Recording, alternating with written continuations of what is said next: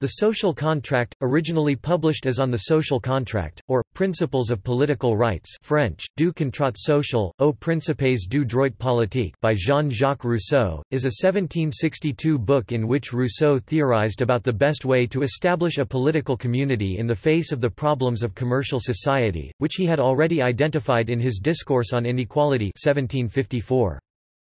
The social contract helped inspire political reforms or revolutions in Europe, especially in France. The social contract argued against the idea that monarchs were divinely empowered to legislate. Rousseau asserts that only the people, who are sovereign, have that all-powerful right. Topic. Overview The epigraph of the work is, Foederis aequas, dicamus leges, Virgil, Aeneid 11.321-22.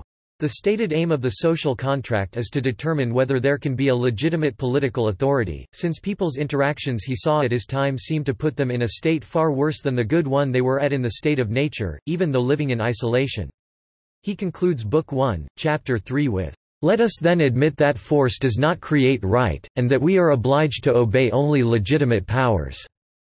Which is to say, the ability to coerce is not a legitimate power, and there is no rightful duty to submit to it. A state has no right to enslave a conquered people. In this desired social contract, everyone will be free because they all forfeit the same number of rights and impose the same duties on all. Rousseau argues that it is absurd for a man to surrender his freedom for slavery, thus, the participants must have a right to choose the laws under which they live. Although the contract imposes new laws, including those safeguarding and regulating property, there are restrictions on how that property can be legitimately claimed. His example with land includes three conditions, that the land be uninhabited, that the owner claims only what is needed for subsistence, and that labor and cultivation give the possession legitimacy. Rousseau posits that the political aspects of a society should be divided into two parts. First, there must be a sovereign consisting of the whole population, women included, that represents the general will and is the legislative power within the state. The second division is that of the government, being distinct from the sovereign. This division is necessary because the sovereign cannot deal with particular matters like applications of the law. Doing so would undermine its generality, and therefore damage its legitimacy.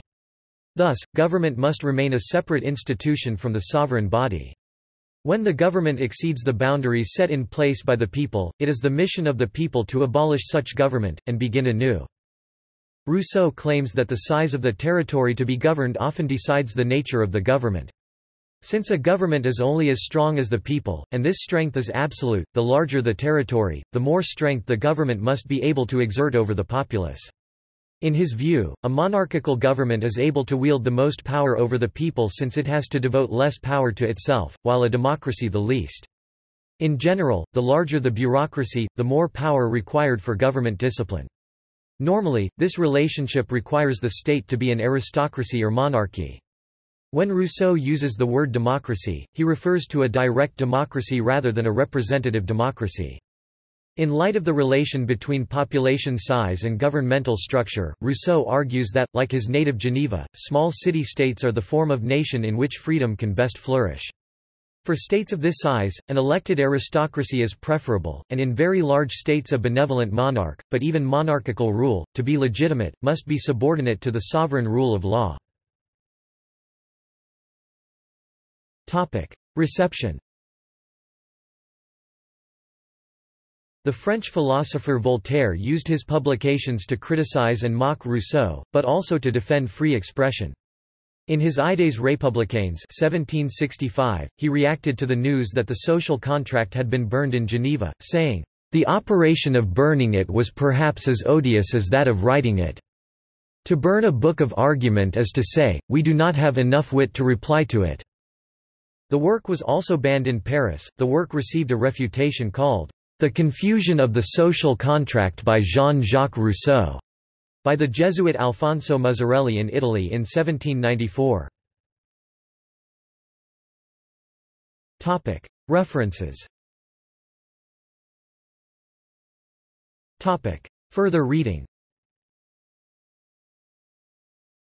Bertram, Christopher 2003. Rousseau and the Social Contract. Routledge. Incorvati, Giovanni 2012 Du contrat social, or The Principles of Political Rights. Les citoyens de Rousseau ont la parole en anglais, in, G. Lebrano, pp. Oneida, Il Principio della Democrazia. Jean-Jacques Rousseau du contrat social 1762, Napoli, Jovene, p. 213–256. Williams, David Lay 2014. Rousseau's Social Contract, An Introduction. Cambridge University Press. Wraight, Christopher D. 2008.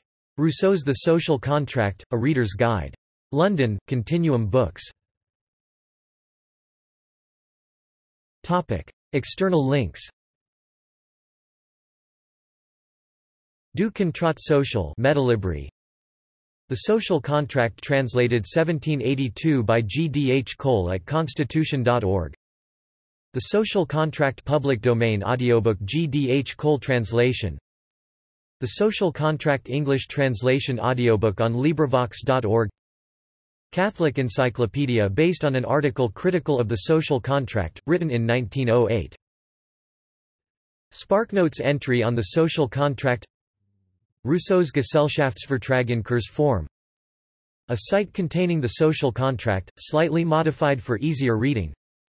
The Social Contract on In Our Time at the BBC Du Contrat Social, or The Principles of Political Rights